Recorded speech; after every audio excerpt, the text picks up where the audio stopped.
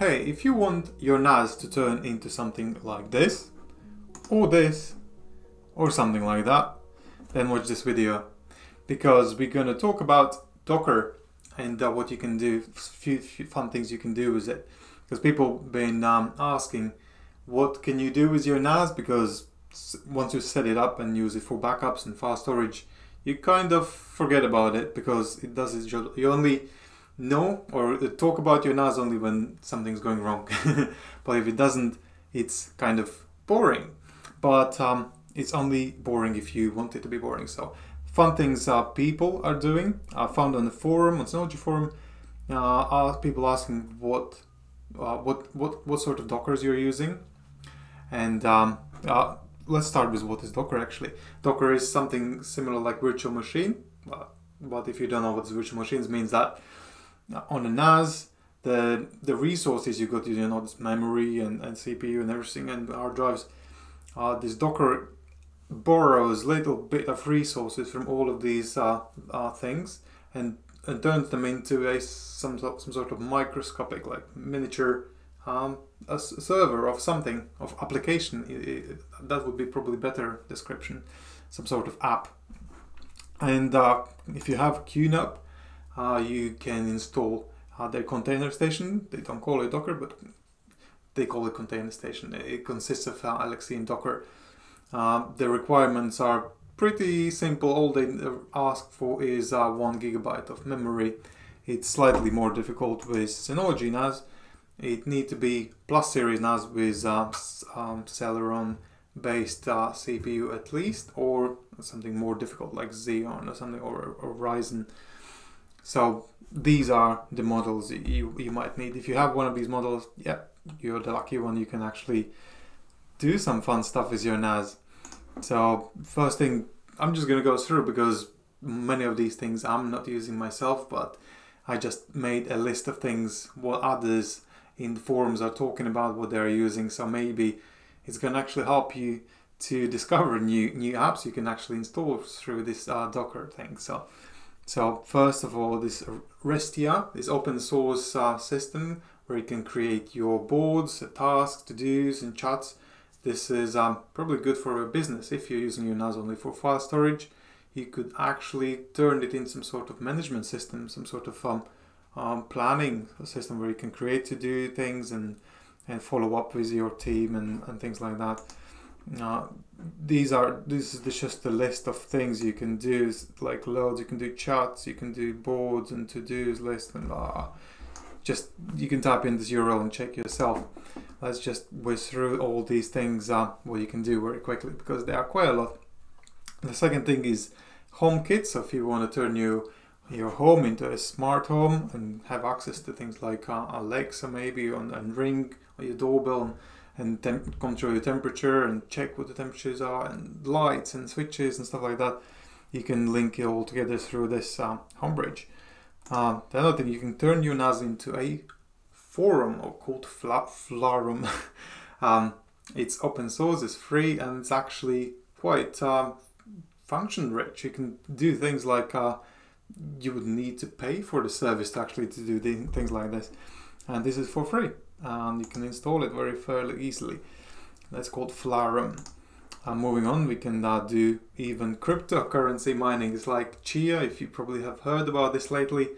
You can install a docker so it's going to borrow some resources and use your storage space on your NAS to plot to do some farming of this coin.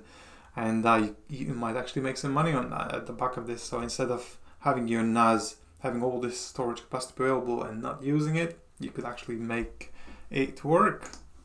Uh, moving on, maybe you might be interested in Bitwarden, which is a um, password manager.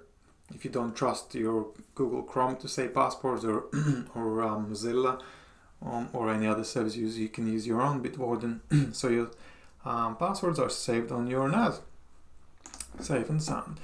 Maybe you want something like BookStack. Um, that's uh, some sort of um, content management system. I can say um, this. You can manage your photos, edit some uh, pages, and make maybe own books.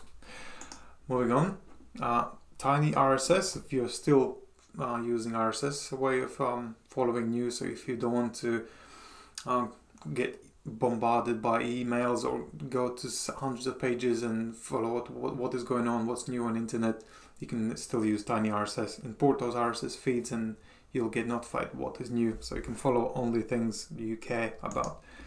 Um, Blynk server, what is that? Um, platform for iOS and Android applications, similar to Raspberry Pi. Maybe something for you. I don't know, was that some sort of management system as well? Um, moving on, Duck DNS, free dynamic DNS hosted on AWS. Something people use. I'm not using this personally. File share, other way of sharing files. So if you're not using Synology or QNAP built-in sharing options, you can go for file share option. Um, let's move on. Uh, your documents and so Mayan ADMS, EDMS, web-based cross-platform free open source. Uh, that's document versions. Uh, so probably this would be installed on things like Asustor where they are not offering uh, functions like uh, Synology or QNAP where you can actually go into different versions and uh, and uh, folder snapshots and things like that. You might use this. Uh, Pi-hole, uh, you know, that's little uh, mini computer which um, people use to save some energy and, and do things uh, auto, like automation and things like that. Um, so you might integrate this as well for smart homes and stuff like that. Um, Open VPN, uh, maybe this is something you can consider. So you can create a secure tunnel between uh, your NAS and, and destination device.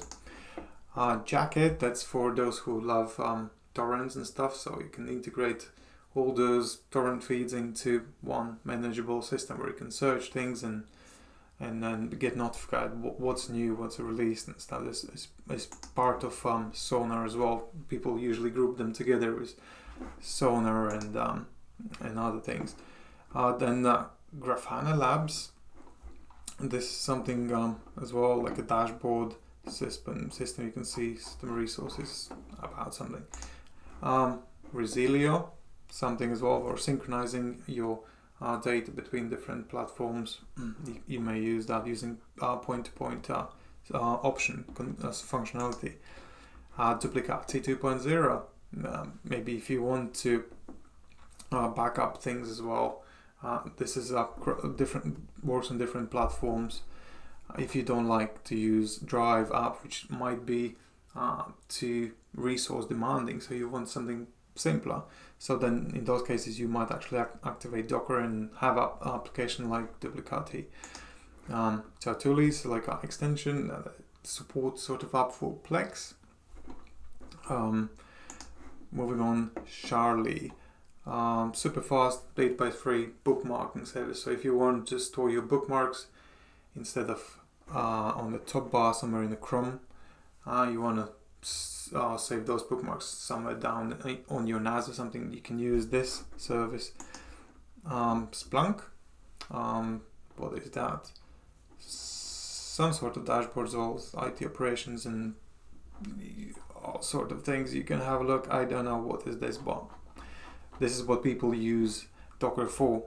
So maybe you can as well uh, comment or maybe you can uh, create your own commenting system because there are a few uh, free free commenting systems and plugins you can use for your WordPress and stuff, but uh, free versions usually involve um, having ads uh, displayed among this content, among those comments. So this is the price you pay. If you go for Commento, that would be your own open source um, commenting system you could use.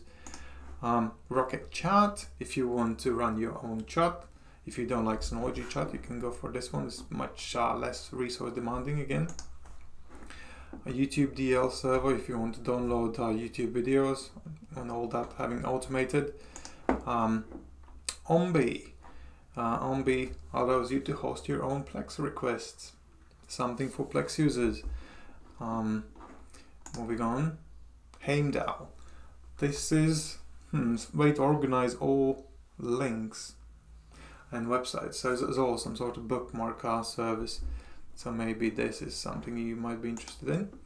Uh, is again for people who love torrents and stuff and, and merged into all, all these feeds of um, torrents available, what's coming on on the feeds and what's not, and organizing basically your things. Jackett, um, I think we mentioned this already. Telegraf, agent for collecting metrics and writing them into Influx database. I'm not using that, maybe you may find use for it.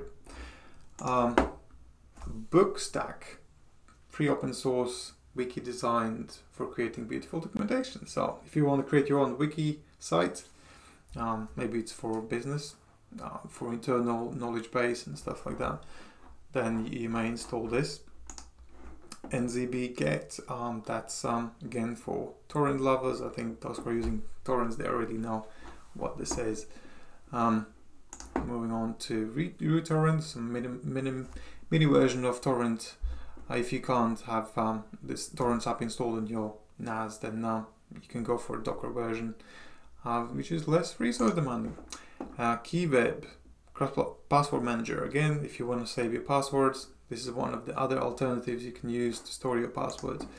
UniFi, if you want to um, control your network uh, rules and you know, settings, then this is something you can install. Uh, Sonic, uh, this is a, like a SoundCloud system when you want to host your own music and, and stream it. You can use install that if you don't like Audio Station or DS Audio. Um, next one is Quassel Core cross-platform IRC. So you may be uh, still using IRC instead of Skype or any other chats. You want your private chats created and things like that. So IRC still alive. You can still use it using this Docker um, maybe you want a Minecraft server. Why not? You can you can run your own Minecraft server on your NAS. That's one of the options. Handbrake. That's for converting your videos. They're converting any sort of video into any other form or shape of uh, video. So, for example, if your TV or uh, a tablet or phone doesn't support certain video files, Handbrake is gonna transcode them into something playable, so they can actually watch videos we can play. Um, paperless, that's again for some uh, businesses probably. You can now have, uh, I think they do OCR systems as well, that you can scan through documents and manage them, save them, and turn them into digital things. Redis, open source network in memory key value data store for optional durability. I don't know what is that, um, but you may be finding use for it. I don't know but apparently it's popular Redis.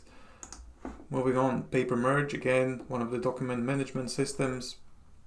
I think this one got OCR for sure, PDFs support, so you can manage your documents. Um, Bazarr, uh, again, it complements Sonarr and Radarr, all torrent stuff. Um, I'm not gonna go deeper in that. and Spotweb as well. You can um, follow some sort of uh, web content. You can follow uh, some feeds as well and stuff like that. So I hope this was helpful. If you if you got any other ideas, maybe you got your different Docker images you are using and um, I didn't mention them, so maybe you can put them in comments so other people can uh, discover things they could do with their NAS using Docker. So, but make sure you put them on the comments there. Um, if you got any other comments, you can put it in the comments send an email to info Compares or go to Compares, fill the form on the right hand side, ask your question, and we're gonna make video like this. Um, maybe you want us to talk more about certain Docker application, so we can go deeper into those subjects and discuss, uh, cover them. Uh, I hope this was helpful, uh, and cheerio.